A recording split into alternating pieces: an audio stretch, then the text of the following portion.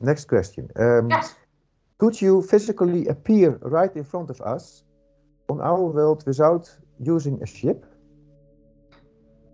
Yes, we could, but having a ship present definitely allows for a smoother transition and a longer stay, so to speak, if that is desired. At this point in our evolution, overlapping your experiential reality to meet somewhere halfway. We can't appear physically on your planet if not first of all this is relevant to the observer and second of all we harmonize with your planet enough to exist there in that form so we quote unquote travel or better said focus through or in harmony with your own collective energy field with the energy field of your planet and then in a sense materialize or teleport into the blueprint framework of your physical dream reality which will then make us physically and visually perceivable to you the nearness of a ship, though, really does help for us to allow these instances to last a little longer. Again, as we have said a little earlier, just like diving gear would help you to remain underwater longer than if you would just have to hold your breath. This is for now the case as you evolve, that will change, and the idea of ships eventually on certain versions of high vibration Earth, future Earths, will then no longer be necessary as a permission slip for us to meet in that way. All right, yes, I understand. Oh, thank you. Um, how, how is it possible some people experience um, physical being touched uh, in a multidimensional ET encounter. All right. That question beautifully clicks in with the previous one. Since, in a way, then you, as human perceiver of this touch physical touch in a multidimensional experience are, in a sense, the one who travels to us. Because in the multidimensional experience, it may be so that you allow your own signature vibration, your own energy field to rise to such a high degree that you meet us on the wavelength that we naturally exist upon, or slightly lower if we are also reaching out to you, so that we can meet quote unquote halfway. And there we can have a physical encounter, even though it is a multidimensional experience. And as you quote unquote come back from that, say for instance, if you wake up from a dream where you feel you were touched, and in waking up, you still feel the imprints on your body of the touch you just experienced in the multidimensional realm. What you then did is bring the translation of the realness, quote unquote, of the multidimensional experience into the dimensional realm that we call the physical dream, that you call your physical reality. You then translate it from that dimensional reality into the one that you are more commonly oriented in or focused upon.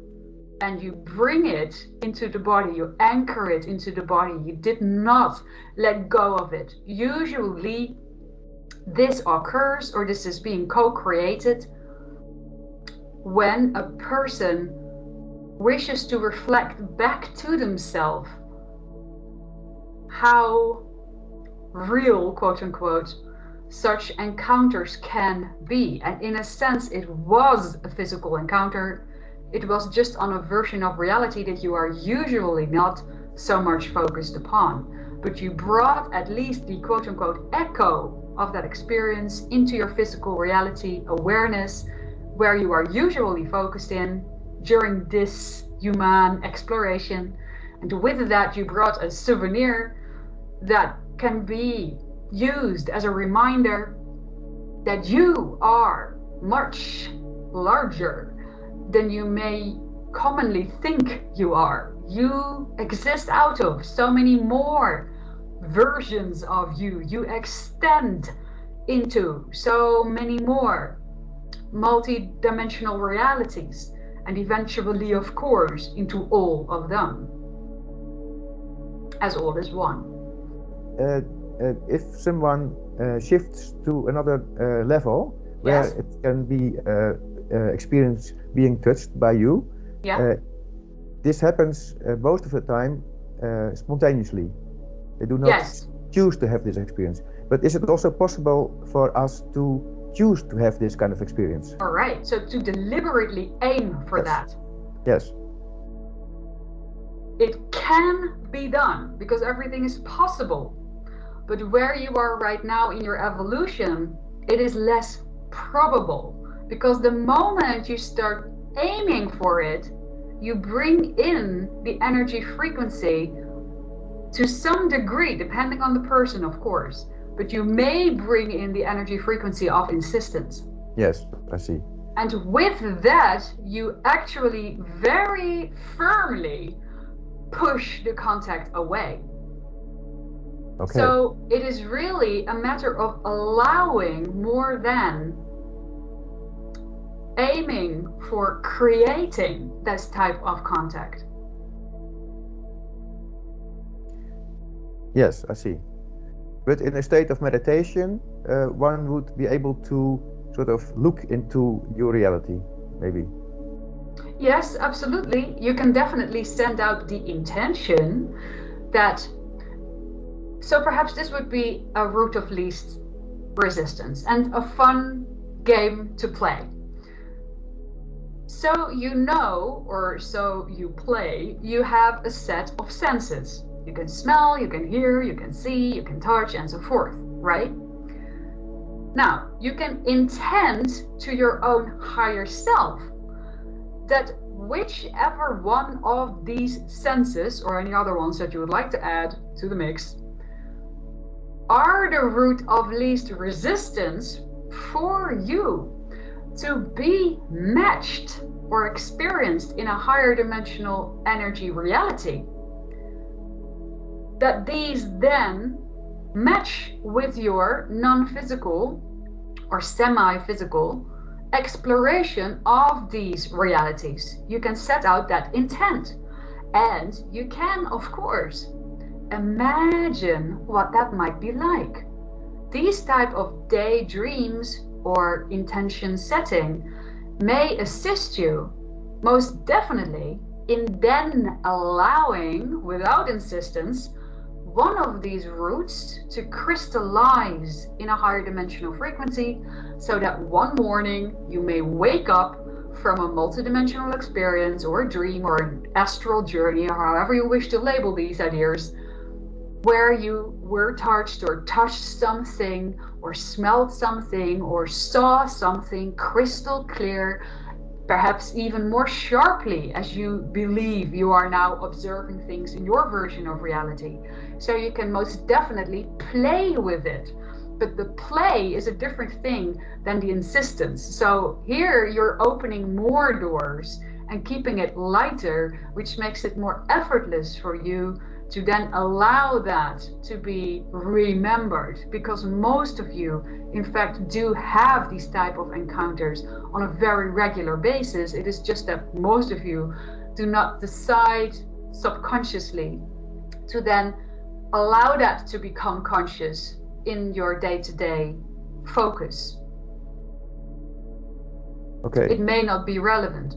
Most people just discard that it doesn't penetrate the filter of what they perhaps subconsciously believe serves them on a day to day life level. So, this is why some people very easily remember all their dreams into great detail and have all types of out of body experiences, and some just don't.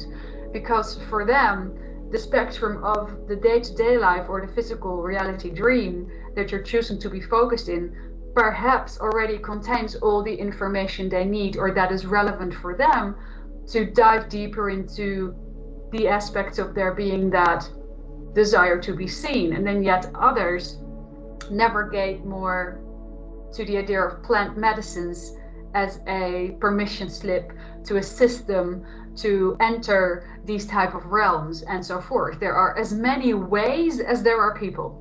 Thank you so much. Oh, thank and, you so um, much. And uh, it was very nice to uh, talk with you and experience your energy. And um, namaste. Thank you so much. Likewise, we have immensely enjoyed this interaction and we wish you also a magical continuation of your day.